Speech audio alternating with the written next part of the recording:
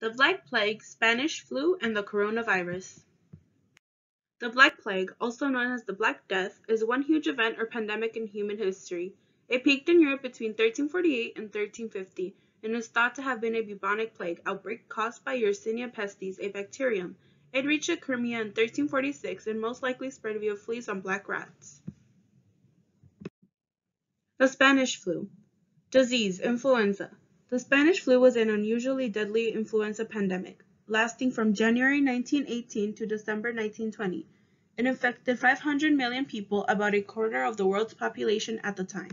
Coronavirus, COVID-19. Originally, scientists believed the virus may have developed in bats, and later pangolins.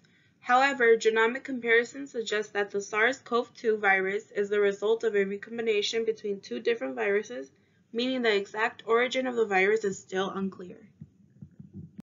Similarities and differences. Similarities. Spanish plague transmitted through person-to-person -person airborne respiratory secretions. The bubonic plague, black plague, is mainly spread by infected fleas from small animals. It may also result from exposure to the body fluids from a dead plague-infected animal.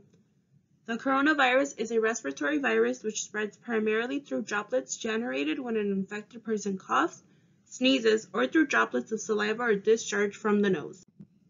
Differences. Spanish plague killed an estimate of 50 million people. The Black Plague killed an estimate of about 25 million people. Currently, the coronavirus has killed 81,103 people at the time of this recording.